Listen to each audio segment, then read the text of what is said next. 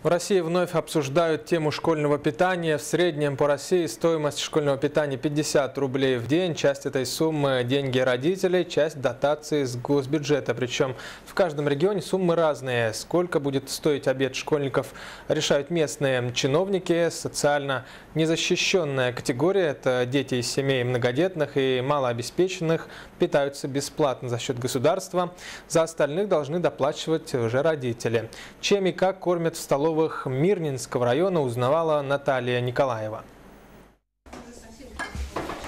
12.00 в 12 школе. Через 5 минут прозвенит звонок, и ученики побегут на обед. В школьной столовой пока пусто и тихо, но на кухне работа кипит.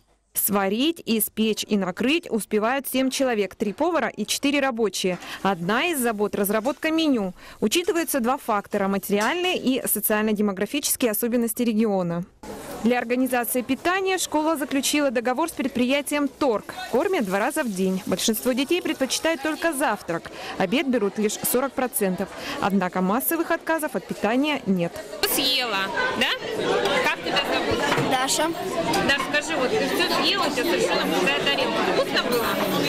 Скажи, что ты любишь есть? Ну, пюре с котлетой и картофельный суп.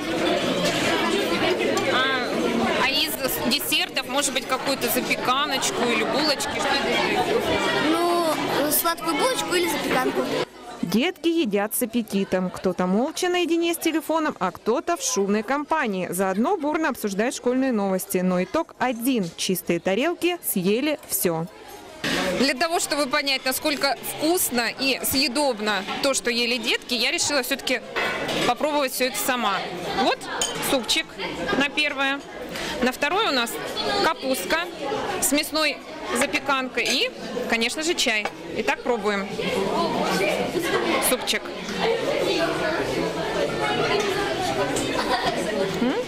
Довольно-таки вкусный, горяченький еще. В центральных городах России школьные столовые предпочитают кейтеринг – доставку готовой еды. В образовательных учреждениях Мирнинского района кормят тем, что приготовят собственной столовой. Для тех, кто не наедается, открыт буфет.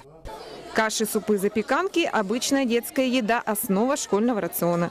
Конечно, ей далеко до домашней. Этим-то чаще всего родители недовольны. Питание, возможно, и не самое изысканное, зато безопасное. За последние годы в школах района не зафиксировано ни одного массового отравления. Наталья Николаева, Алексей Меркулин, телеканал «Алмазный край».